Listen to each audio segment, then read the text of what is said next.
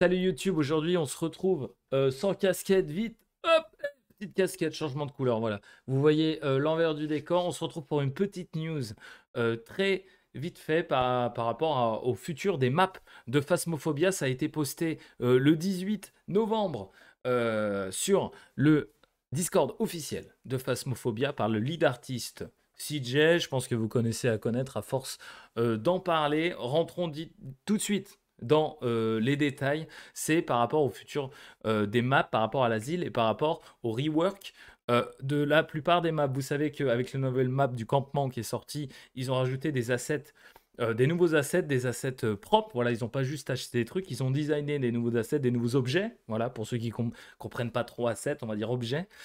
C'est pour ça que sur la map du campement, vous avez plein d'objets que vous ne trouvez pas dans d'autres maps. et ben, ils vont essayer de faire la même chose sur toutes les maps. Mais d'abord, parlons de l'asile. Parlons du premier sondage. Voilà, ce que vous allez voir, c'est composé de trois sondages. Le premier sondage, c'est est-ce que, vous, joueriez plus à l'asile si sa taille, enfin plus ou moins à l'asile, si sa taille était réduite de moitié? Donc vous avez évidemment beaucoup plus, plus, pareil, moins, beaucoup moins. Et en numéro 6, ne la rendez pas plus petite. Et vous voyez qu'en majorité, les gens ont voté quand même euh, beaucoup plus. Euh, moi, jouant en solo, je vous avoue que l'asile, j'aime beaucoup cette map. Hein. J'adore l'atmosphère, j'aime absolument cette map. Le problème, c'est sa taille. C'est que je trouve qu'en fait, en solo, on s'ennuie un petit peu. Donc, je ferais beaucoup plus l'asile, évidemment, s'ils réduisent sa taille euh, de moitié. Ce que vous voyez écrit en dessous du sondage, c'est juste quelques petites notes voilà, par rapport à ce que euh, dit CJ dans le, sondage au-dessus. Réduire de moitié, ça ne veut pas dire enlever une aile. Je vous rappelle que l'asile, c'est un petit bâtiment central avec deux ailes, une à gauche, une à droite. C'est, il va prendre chaque aile et il va la réduire de moitié. De moitié, donc la map sera à peu près réduite euh, de moitié. Voilà, il va pas juste en enlever une. Euh, donc ça, c'est vrai que c'est pas mal parce que les ailes étaient vachement longues. Donc, évidemment, s'ensuit euh, des, meilleures performances comme marqué ici si l'asile est réduit de moitié, donc ça c'est cool. Ils pourront mettre plus de densité d'objets, plus d'objets, des nouveaux assets comme sur la map du campement, euh, des nouveaux visuels, euh, du coup pour que la map vous semble moins répétitive. C'est vrai que l'asile ça semblait un peu répétitif, mais c'était aussi dû à sa taille. Et du coup ils pourraient faire dans le sous-sol une sorte de morgue ou un thème d'hôpital. Donc voilà, retravailler, rework un peu les maps pour les rendre plus uniques plus euh, pourquoi pas, et surtout plus, plus vivante, entre guillemets, si vous me pardonnez l'expression, pour un jeu de recherche sur des euh, fantômes. Alors, moi, euh, je suis pour et je suis contre. Je suis pour parce que ça va me donner envie, évidemment, de jouer à l'asile, beaucoup plus, vu que sa taille sera plus petite.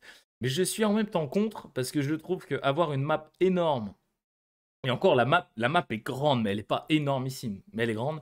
Je trouve que c'est un challenge. Et je trouve que c'est important dans un jeu comme Phasmophobia, d'avoir une map qu'on ne fait certes pas souvent, euh, en tout cas dans mon cas, mais on sait qu'elle est là si jamais un jour on veut un gros challenge. Voyez Donc je suis tiraillé, je trouve que c'est quand même important de garder une grande map. Euh, je pense qu'ils vont quand même la réduire de moitié, vu, euh, les votes. Je ne sais pas à quel point ils vont écouter la commu, s'ils écoutent les sondages autant que moi. Voilà, ceux qui suivent sur Twitch savent.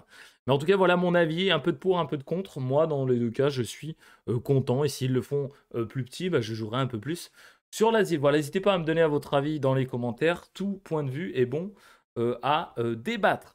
Par rapport aux deux prochaines questions qui seront posées, la première, c'est quand nous allons retravailler les maps des maisons, donc les streets, donc je vous rappelle la Edgefield, la Ridgeview, la Tangle et la Willow.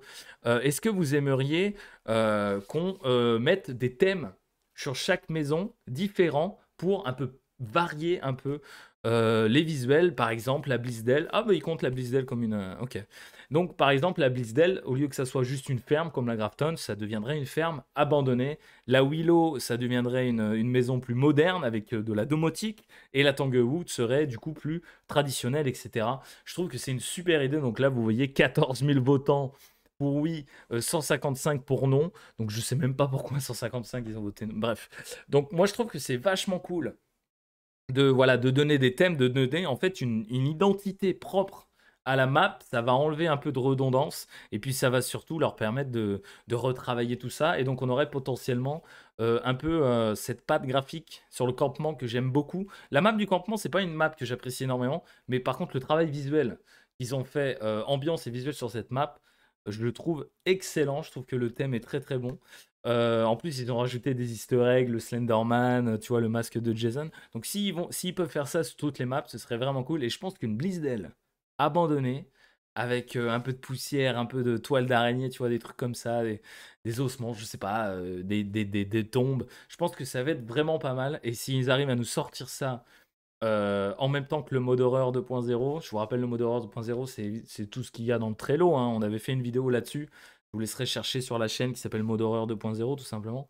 mais en tout cas, moi, je pense que c'est une super idée. Super idée. Et le troisième sondage, la troisième question, c'est qu'est-ce que vous voulez en premier. Est-ce que vous voulez, tout en bas, euh, qu'on crée une nouvelle map d'abord ou est-ce que vous voulez qu'on retravaille du coup toutes les maps existantes? Et euh, à ma surprise, j'ai été surpris de voir que quasiment dix fois plus euh, de personnes veulent retravailler les maps plutôt qu'en avoir une nouvelle. Donc voilà, là c'est moins catégorique que la question d'avant. Mais moi je suis assez d'accord avec eux. Je trouve que retravailler les maps, avec ce qu'on vient de discuter juste avant, je trouve que c'est plus important que d'en créer une nouvelle, sachant qu'on vient d'avoir le campement. Donc voilà, euh, avoir les autres maps de la même qualité que le campement, avec une identité propre, des nouveaux objets, plus de densité d'objets, voilà, plus de... Tu vois, histoire que ça soit pas un lieu vide. Parce que quand tu réfléchis, la plupart des maps, ça reste des lieux vides. T'as pas le sentiment que quelqu'un y habite vraiment, tu vois, c'est assez générique. Donc s'ils arrivent à faire ça euh, à créer ce sentiment sur toutes les maps, ça peut être vraiment cool. Et puis il y aura énormément moins cet effet de redondance. En tout cas, c'est mon avis.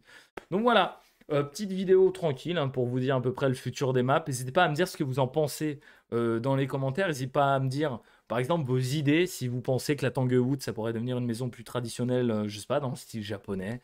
si la Willow, en, en tant que maison futuristique, futuristique, ça se dit pas. bref, vous avez futuriste. Je cherche trop compliqué, il est tard.